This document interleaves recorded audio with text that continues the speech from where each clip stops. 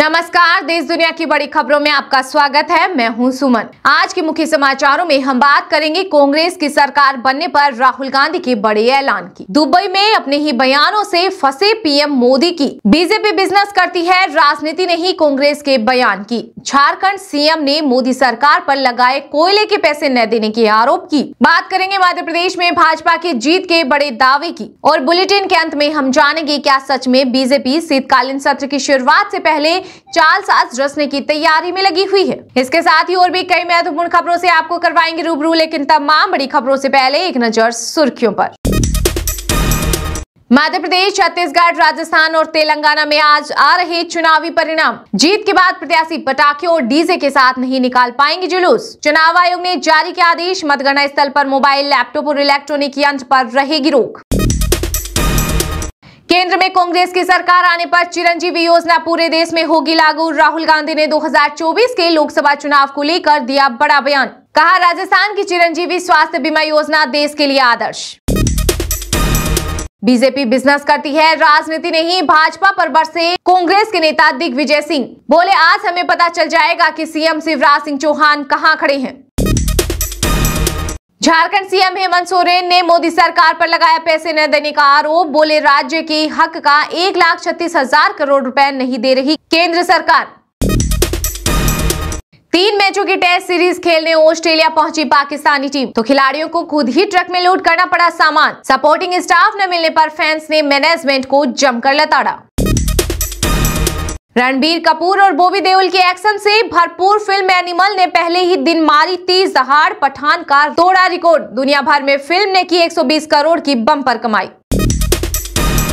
तेलंगाना चुनाव से पहले आंध्र प्रदेश ने किया नागार्जुन सागर बाँध पर कब्जा, पानी छोड़ने पर बड़ा तनाव। सिंचाई मंत्री बोले, हमने उतना ही पानी लिया जितना हमारा है। पाँच दिसंबर को आंध्र प्रदेश से टकराएगा मिचोंग तूफ़ान। 100 किलोमीटर प्रति घंटे के हिसाब से हवा चलने और तेज बारिश के लिए जारी किया गया है अलर्ट। छत्तीसगढ़ सीएम भूपेश बघेल ने प्रधानमंत्री को लिखा पत्र, ऑनलाइन बेटिंग ऐप पर बैन लगाने के लिए की मांग। साथ ही लिखा, अब तक हमने 450 से ज़्यादा आरोपियों को पकड़ा। अब आपकी बारी। फर्जी वादे और फर्जी गारंटी देना कांग्रेस की पुरानी आदत, केंद्रीय मंत्री अनुराग ठाकुर ने राजस्थान में किया भाजपा की जीत का दावा। बोले, कांग्रेस बेनकाब हो गई है, अब भाजपा सरकार बनाएँगे। इस बार नहीं पड़ेगी कड़ाके की सर्दी अलनीनो प्रभाव एक्टिव होने से बदला सर्दी का पैटर्न। आगामी तीन महीने में दिन का तापमान चार पाँच डिग्री ज़्यादा रहने की उम्मीद।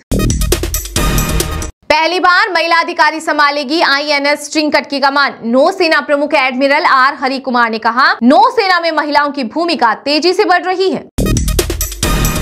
हर महीने नए रिकॉर्ड बना रहा यूपीआई पेमेंट। नवंबर महीने में देश में यूपीआई ट्रांजैक्शन से 17.4 ट्रिलियन रुपए का हुआ लेन देन फास्टैग भी बढ़ा। भारत और ऑस्ट्रेलिया के बीच खेली जा रही पाँच मैचों की टी ट्वेंटी सीरीज़ में भारत ने ऑस्ट्रेलिया को चौथा मैच हराकर हासिल किया बड़ा वर्ल्ड रिकॉर्ड। इस जीत के साथ ही भारत ने टी ट्वेंटी में सबसे ज़्यादा मैच जीतने का बनाया रिकॉर्ड। अयोध्या में 320 करोड़ की लागत से श्रीराम एयरपोर्ट बनकर हुआ तैयार। नाइट लैंडिंग की रहेगी सुविधा। यूपी सीएम योगी आदित्यनाथ ने किया निरीक्षण। भारत लाए जाएँगे विभिन्न देशों में रहने वाले एक सौ चौरासी भगोड़े अपराधी। इंटरपोल और संबंधित देशों की कानून प्रवर्तन एजेंसियों की मदद से तलाश रही सीबीआई और एनआईए। संसद के पुस्तकालय भवन में केंद्रीय मंत्री राजनाथ सिंह, प्रहलाद जोशी समेत कई वरिष्ठ नेताओं की मौजूदगी में हुई सर्वदलीय बैठक। 4 से 22 दिसंबर तक चलेगा संसद का शीतकालीन सत्र। सरकार बोली, हम सभी मुद्दों पर चर्चा के लिए तैयार। विपक्ष ने की जातिगत जनगणना कराने की मांग। भारत बना समुद्र का शहनशाह अंतर्राष्ट्रीय समुद्री संगठन परिषद में फिर लहराया देश का परचम। विश्व के तमाम देशों ने मिलकर एक बार फिर से भारी मतों से भारत को अंतर्राष्ट्रीय समुद्री संगठन परिषद के लिए चुना। आदित्य एलवन की एक और लंबी छलांग सूर्य का अध्ययन करने के लिए भेजे गए इसरो के सोलर मिशन ने सौर हवाओं का शुरू किया अध्ययन। मिजोरम में आज नहीं, कल होगी काउंटिंग। ईसाई समुदाय की मांग पर लिया गया फैसला। कहा कि रविवार को चर्च जाना ज़रूरी। चीन के रहस्यमयी वायरस से अमेरिका सतर्क। सीनेटरों ने राष्ट्रपति जो बाइडेन से की खास अपील, कहा, हमें अमेरिका, चीन के बीच यात्रा को तुरंत प्रतिबंधित करना चाहिए। तमिलनाडु में ईडी अफसर 20 लाख घूस लेते गिरफ़्तार। पाँच महीने में सेंट्रल एजेंसी का तीसरा अफसर पकड़ा गया। डॉक्टर से मांगे थे इक्यावन लाख रुपए। ये तो थी सुर क्या अब चलते हैं आज की बड़ी खबरों की ओर। खबरों में सबसे पहले हम बात करेंगे सीओपी 28 में अपने ही बयानों से घिरे पीएम नरेंद्र मोदी की। क्योंकि कांग्रेस नेता जयराम रमेश ने दुबई में दिए गए प्रधानमंत्री के भाषण पर सवाल उठाया है। साथ ही 2014 के बाद बीजेपी के किए कार्यों पर जोरदार हमला बोला है। ऐसे में क्या कहा है कांग्रेस के वरिष्ठ नेता ने? देखिए इस खास रिपोर्ट में। दरअसल शुक्रवार को दुबई में संपन्न हुए कॉन्फ्रेंस ऑफ़ पार्टीज़ यानी कि सीओपी 28 शिखर सम्मेलन में शामिल होने पीएम मोदी भी पहुँचे थे, जहाँ उन्होंने पर्यावरण संबंधी विभिन्न मुद्दों पर अपना संबोधन दिया था। प्रधानमंत्री के संबोधन को लेकर कांग्रेस नेता जयराम रमेश ने उन पर तीखा हमला बोला है। रमेश के मुताबिक प्रधानमंत्री ने maximum global talk minimum local woke के सिद्धांत को अपनाया है। उन्होंने कहा कि पीएम वैश्विक स्तर पर बातें तो बड़ी बड़ी करते हैं, लेकिन देश में वैसा कुछ नहीं करते। या जो कहते हैं, उसके ठीक विपरीत करते हैं। उन्होंने दुबई में दावा किया है कि भारत ने पारिस्थितिकी और अर्थव्यवस्था के बीच एक अच्छा संतुलन बनाया है। जयराम रमेश ने आरोप लगाया है कि प्रधानमंत्री के नौ साल के कार्यकाल में तमाम पर्यावरण कानूनों को कमज़ोर किया गया है। उन्होंने कहा की हिमालय क्षेत्र जैसे पर्यावरण के संवेदनशील क्षेत्रों में मोदी सरकार ने बड़ी परियोजनाओं को छोटे खंडों में विभाजित करके अवैध रूप से पर्यावरणीय प्रभाव आकलन की आवश्यकता को नजरअंदाज कर दिया है। रमेश ने आगे कहा कि मोदी सरकार में वायु प्रदूषण एक गंभीर सार्वजनिक स्वास्थ्य संकट में बदल गया है, जो जीवन प्रत्याशा के लिए एक बहुत बड़ा खतरा है। सिर्फ़ 2015 से 2020 तक 100 से ऊपर पीएम 2.5 के संपर्क में आने वाले भारतीयों की हिस्सेदारी दो गुनी हो गई है, जो पिछले वर्षों में सुधार के विपरीत है। मोदी सरकार न केवल देश भर में बिगड़ते वायु प्रदूषण से निपटने में पूरी तरह से विफल रही है, बल्कि उसने कोयला परिवहन और उत्सर्जन स्क्रीबिंग के मापदंडों में भी ढील दी है। जब भारत में प्रधानमंत्री का ऐसा विनाशकारी ट्रैक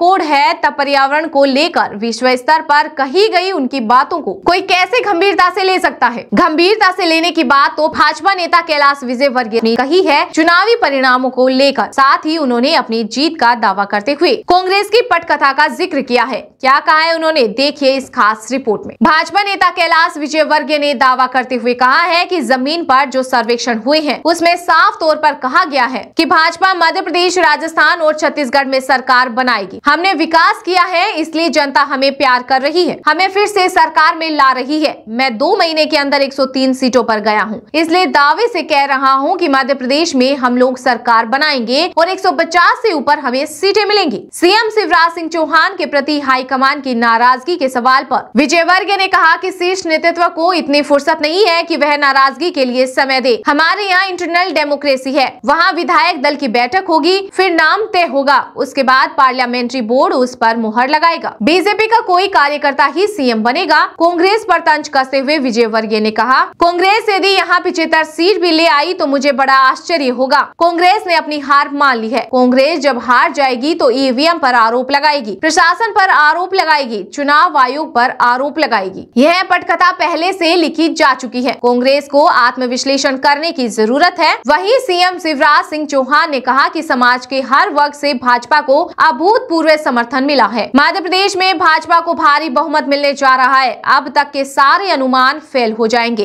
तीन दिसंबर को सूरज के प्रकाश की तरह सब कुछ साफ़ हो जाएगा। इनके अलावा केंद्रीय मंत्री ज्योतिरादित्य सिंधिया ने कहा कि हमें पूरा विश्वास है कि मतगणना में भाजपा मध्य प्रदेश में पूर्ण बहुमत के साथ सरकार बनाएगी। थोड़ा और इंतज़ार उसके बाद नतीजे सामने होंगे। विधानसभा चुनाव के नतीजे तो आज हमारे सामने आ जाएँगे, लेकिन कल से संसद में शुरू हो रहे शीतकालीन सत्र को लेकर सवाल की उम्मीद जताई जा रही है। ऐसे में साल के इस अंतिम सत्र में क्या क्या रखे जा सकते हैं प्रस्ताव और क्यों मच सकता है बवाल? देखिए इस खास रिपोर्ट में। साल का अंतिम सत्र कहे जाने वाले शीतकालीन सत्र की शुरुआत संसद में 4 दिसंबर से होने जा रही है। यह सत्र 22 दिसंबर तक चलेगा। इस दौरान 19 दिनों में 15 दिन बैठक होंगी। सत्र के शुरू होने से पहले सरकार ने संसद भवन की लाइब्रेरी बिल्डिंग में शनिवार को सर्वदलीय बैठक बुलाई। इस बैठक का उद्देश्य शीतकालीन सत्र को सुचारू ढंग से चलाने के लिए लिए रणनीति बनाना और विधायी एजेंडा तय करना था। बैठक के बाद संसदीय कार्य मंत्री प्रहलाद जोशी ने बैठक की जानकारी देते हुए कहा कि आगामी संसदीय सत्र में कौन कौन से विधेयक संसद में पेश किए जाएँगे। आपको बता दें कि संसद में सैंतीस विधेयक लंबित हैं, जिनमें बारह विधेयक इस शीतकालीन सत्र में पारित हो सकते हैं। इन विधेयकों में आईपीसी सीआरपीसी और एविडेंस एक्ट को बदलने वाले विधेयक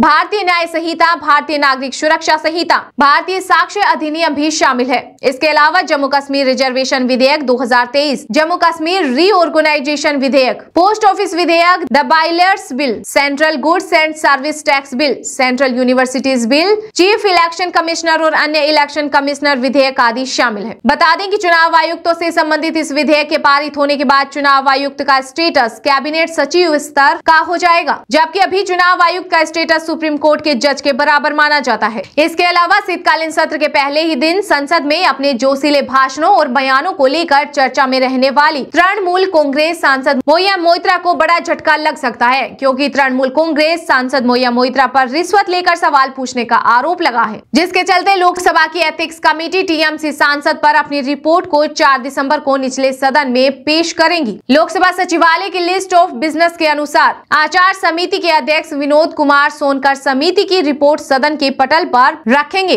तो कैसे लगे आज के समाचार? कमेंट करके ज़रूर बताएँ। वीडियो पसंद आया है तो लाइक कीजिए और देश की महत्वपूर्ण खबरों की तुरंत अपडेट पाने के लिए हमारे व्हाट्सएप टेलीग्राम चैनल को ज्वाइन करें और ट्विटर फेसबुक पर हमें फॉलो करें, जिसकी लिंक वीडियो डिस्क्रिप्शन में दी गई है।